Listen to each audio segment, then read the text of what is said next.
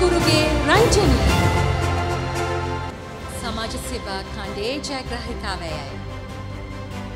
ඔබට ඉජිපි බැංකුවෙන් සහ නිවස් ෆස්ට් වෙතින් උණුසුම් සුභාශිංසන.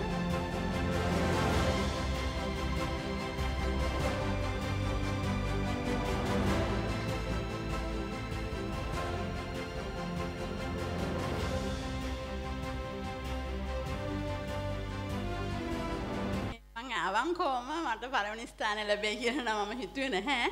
නමුත් මම මේ අවස්ථාවට පළමුවෙන්ම NDB බැංකුවට මම එක්කඩුව ස්තුතිවන්ත වෙනවා. මොකද මේ මම ලොකු සල්ලි කර්මයකට වාජනය වෙලා හරියටම අ, සතියයි මාසයක්ම පිරිතාලේ සතියයි ගෙදර ඇවිල්ලා අ, ගොඩාක් අමාරු තත්ත්වයකදී මම මගේ සමාජිකාවකට කියලා තමයි එයාම තමයි මම නෙවෙයි. එයා තමයි මගේ ඇප්ලිකේෂන් එක ඔක්කොම ගිහින් දීලා තරම් මට හරි සතුටුයි. මේ එයා තමයි එයා නිසා තමයි මම වැඩස මේ වැඩසටහනට මම අද පළවෙනි ස්ථානය ගත්තේ. මගේ සමාජිකවන් 100ක් විතර මගේ අවට ඉන්නවා. ඒගොල්ලෝ මට ඇත්තරම කාන්තාවන්. මට පුළුවන් විතර මගේ මුදල් තමයි මං කිසිම එන්ජොයි එකකින්වත් අ, රජයෙන්වත් නෙමෙයි. මම ස- කාන්තාවන් 100ක් මගේ ළඟ ඉන්නවා. ඒ 100ටම මම ගන් රැකියාවලට ණය පාස්කම් මගේ මුදලින් මට පුළුවන් හිට මම ලොකු රස්සාවක් කරන්නේ නැහැ. මම කරන්නේ හෑන්ඩ්ලූම් එකක්, දේශකර්ම මේකක්.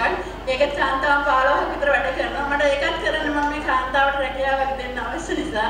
අත්‍තරම් මම හිතනවා අවංකවම මට මේක ලැබිලා තියෙන්නේ මගේ අවංකත්වය නිසා. කියලා ඕන කෙනෙක් Tamanට අවංකකමින් වැඩ කරනවා මම හිතන කාන්තාවන් ඉදිරියට යන්න පුළුවන්. තමන්ගේ අ, සහ සුද්ධිය සකා වැඩ කරන්නේ නැතුව අනුන්ගේ යහපත සකා වැඩ කරනවා මම හිතන්නේ මේ වගේ සියලුම කාන්තාවන්ට මම වගේ ඉදිරියට යන්න පුළුවන් වෙයි කියලා මම හිතනවා. සිරස මන්දිරයටත් ඉන්දිබි බැංකුවටත් මගේ දෙමව්පියන්ටත් මම අවට දෙන සියලුම සමාජිකාවන්ටත් කාන්තාවන්ට මගේ ස්තුතිය පුද කරනවා Thank you. රංජනී මහත්මියට බොහොම ස්තුතියි අපි නිරෝගී සම්පත සහ තව තවත් අ, ඉදිරියට යන්න ජය ප්‍රාර්ථනා කරනවා.